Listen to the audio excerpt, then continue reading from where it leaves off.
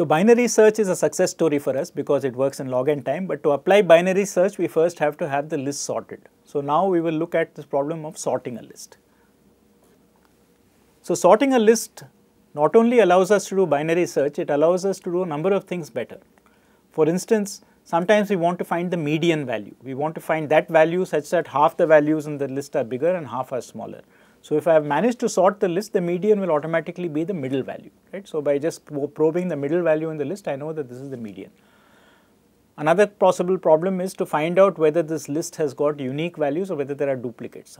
Like are there two SIM cards which have been registered with the same Aadhaar number. Now, if I can sort the thing by Aadhaar number, then if I find duplicates, they must be next to each other because all the values are sorted two identical values will appear adjacent in the sorted list. So, if I go through the sorted list and if I find if I do not find any value which is the same as the previous or the next value, I know that all the values are unique.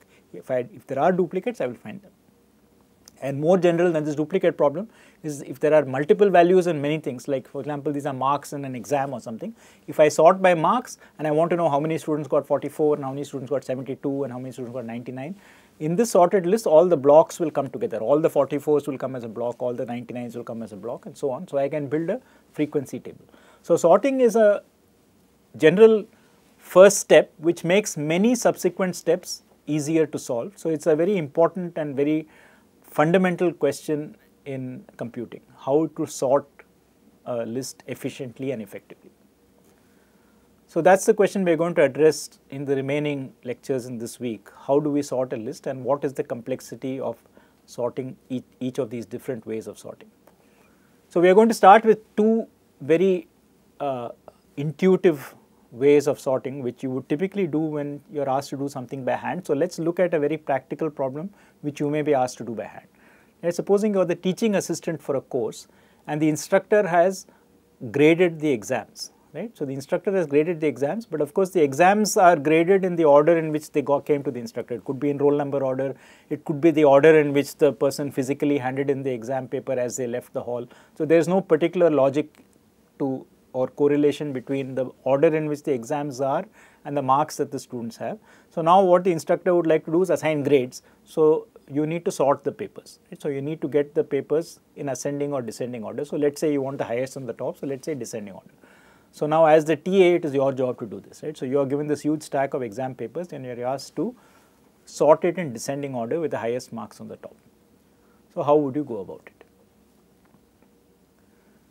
So here is one natural strategy which we do use quite often when we are looking at quantities like this and trying to establish this. We will scan the entire list and then as we are going along, we all know how to keep track of the maximum and the minimum in a list, right? You keep the first value as your hypothetical minimum or maximum. Every time you see a smaller or larger number, you will update the minimum or the maximum as the case may be. So by doing one scan of the list, you can find the maximum value. Right? Let's assume for simplicity that all these values are distinct. There's only one mark, one paper with each mark. It doesn't really matter because if you find it again, you will find it again. So it's not a problem. But let's assume that there's only one one paper for each value of mark. So you find the maximum and then what you do, you take it and you move it aside or you find the minimum and you move it aside depending on which you're. So your problem here is you're, you're trying to find the final list in order, right. So it's better to put the first, the minimum at the bottom. So you have this whole pile of papers. So you find the min minimum one and then you move it from here to the bottom. Right? Now you do the same thing again, right. So you take that pile and then you again find the minimum and put it on top of the first paper you want. Find the minimum, put it on top of the second paper. So in this way in the second list is growing from minimum to maximum because you are finding the minimum at each time and then appending it to this list, right. So this is a simple strategy where eventually the second pile is going to be in order from bottom to top from minimum to maximum which is what your instructor asked you to do. Right. So, let us say that this is the hypothetically this is our top and this is our bottom right. So, it is just easier to do left to right. So, this is my initial set of marks 6 marks sorted like this. So, the first the lowest mark is uh, sorry the I think I should take it yeah bottom to top is right.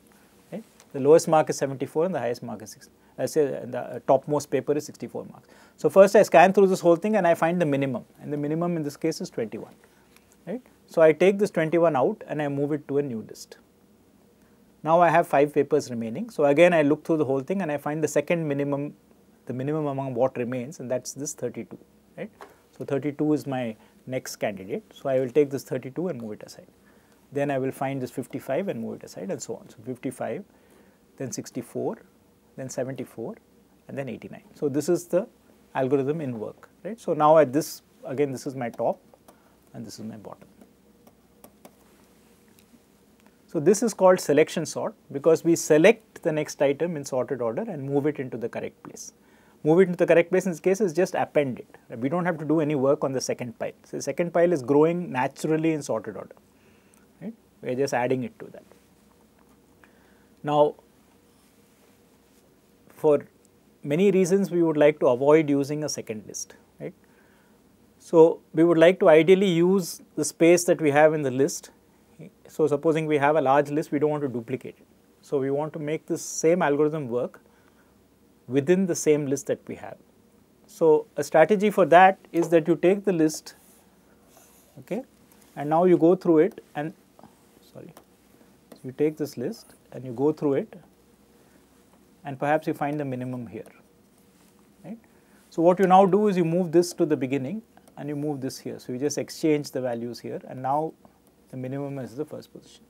Now I go through this whole list and maybe I will find the second minimum at this position. So now I move the second minimum here and move this here, right. So this makes it possible for me to do this strategy without creating a new list. Because remember in the previous example, right, as I move things, I cross them out. So they were no longer there. So here the crossing out in this thing corresponds to saying that they are moved into position and now their position has been taken by some place which I have not, value which I have not seen before, okay. So, eventually this list will be rearranged. If I keep moving the minimum to the beginning of each segment, I will rearrange it in ascending order. Right. So, here is a, a Python implementation of this selection sort. Right. So, what you do is you first compute the length of the list. So, if the list has is empty, right, if the length is 0, n is less than 1, then I just return the list as it is, right, I do not have to do any work. Now, otherwise I am going to build up this segment, right. So, at any given point, I am going to be looking at some index i. So, I am looking at L of i. And I am going to scan from here onwards and look for the minimum and then move it to L of i. So, I am not going to touch the part on the left. So, basically 0 to i minus 1, this part is already sorted, right. So, we are going to assume that the slice or the prefix of the list up to i minus 1 index is sorted. So, when I am at 0 this means that nothing is sorted because there is no i minus 1. Okay. So, now in order to find the minimum I use our usual algorithm. I assume that the current position is my minimum and I keep looking at all the values from the next position onwards and if I find a value which is smaller than the minimum that I assumed then I replace my minimum position from i to j. So, this just computes j as the minimum, I mean it scans through all j and keeps updating mpos to be the minimum position, the value with uh, position with the minimum value from i onwards. Once you have done this scan, okay, now what you want to do is swap that thing, right. So, that is what it is, swap that to the current beginning.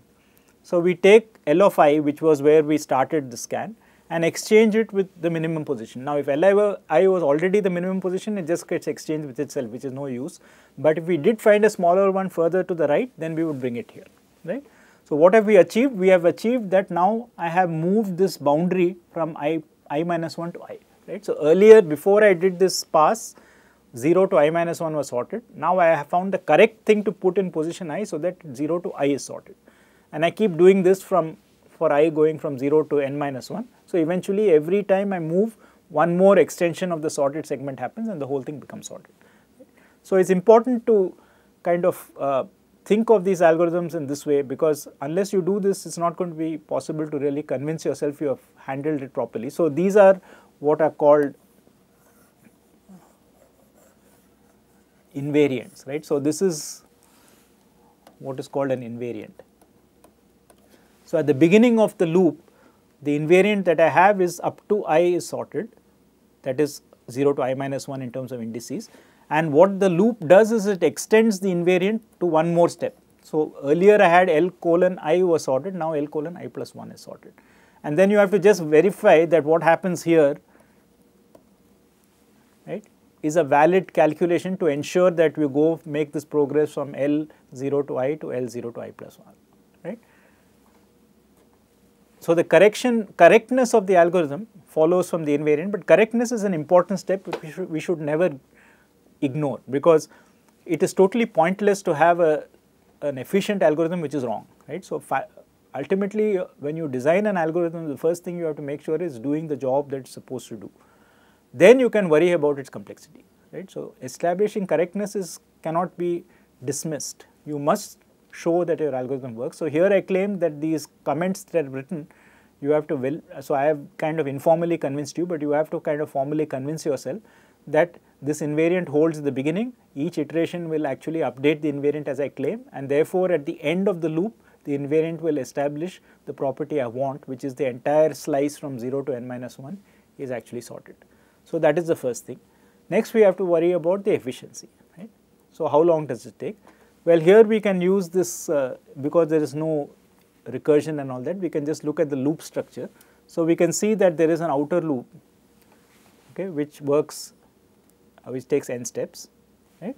And inside this outer loop, right, we have this inner loop. And how much time does this inner loop take? Well, it goes from i to n minus 1, right. So, it is going to take n minus i steps to find this minimum. Okay. So, therefore, for each of the outer iterations, I am going to take n minus i steps and i is going to keep changing, right. So, I am going to take initially I am going to take go through on n elements to find the minimum absolute minimum and bring it to the first position. Then I am going to go through n minus 1 elements, find the minimum, bring it to the second position and so on. So, the total time my algorithm is going to take is n plus n minus 1 plus plus up to 1. Right? So, so you should probably know what this adds up to, but in case you do not, here is a simple way to do it. So, I have n plus n minus 1 plus 2 plus 1, right. So, what does this add up to? So, this is a trick which is attributed to Gauss as a school child. So, he said, okay, let me write it in reverse. So, the same sum, let me write it again. Right. So, I have just written it out from right to left. But now, if I add it column by column, then this column adds up to n plus 1, this column adds up to n plus 1. So, every column adds up to n plus 1. Right. And how many columns are there? Clearly there are n because it is n to 1, right. So, there are n columns each of which adds up to n plus 1, but the total sum is n into n plus 1, but that is 2 times this, right, because I have added the list once forwards and once backwards. So, this is 2 times the total I want. So, therefore, my total is going to be n into n plus 1 by 2, right. So, if you do not remember this formula, this is one easy way to reconstruct it. So, T of n, if n, if it is a summation from 1 to n, is just n into n plus 1 by 2. It is a number of uh, elements times the number of elements plus 1 by 2. Okay. And as we have seen, this is big O of n squared. Right. So, all we need is the highest term. So, this is n squared by 2 plus n by 2. Right. So, basically in our asymptotic order of magnitude way of doing things, we throw away this, we throw away this and we say this is order of n squared. So, selection sort is actually an order n squared algorithm. Okay. So, it is an intuitive algorithm to sort a list because we do it all the time actually when we do it with small values when we are asked to find the minimum. Somebody gives you a kind of set of things and asks you to arrange it. This is very often the kind of thing that you might want to do. So, we just repeatedly find the minimum or the maximum and append it to the sorted list. Now, one of the features of this algorithm is that not only is the worst case big O n squared, but actually every case is big O n squared.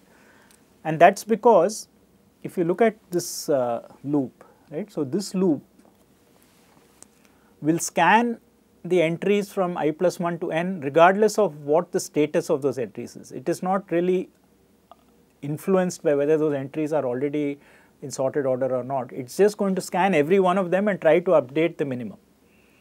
Right? So it has no performance improvement on whether this list was already sorted, not sorted in a particular order. It's as good or as bad whether you had a completely random order or whether you had some nice order to start with. So this is actually some, some case where the worst case is really every case. So selection sort is really big O of n squared in every case. So there's no advantage even if the list is arranged carefully before sorting.